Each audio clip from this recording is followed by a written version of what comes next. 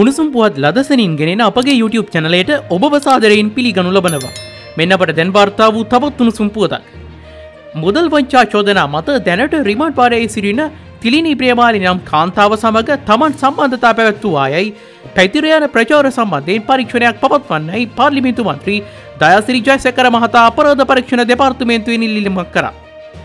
එම තැනැත්තිය සමඟ ගනුදෙනු කළ පුද්ගලයින්ගේ නම් යයි වන ලයිස්තුවක් සමාජමාතය සංසරණය වන බවත් එම ලයිස්තුවේ තමගේ නමුත් සඳහන් වන බවත් හෙතම සඳහන් කර සිටිය මෙවැනි උණුසුම්පුවත් ලදසනින් නිසනින් දැනගැනීමට අපගේ YouTube චනලේ සබස්ක්‍රයිබ් කොට සීනෝ බොත්තම ක්‍රියාත්මක කරන්න.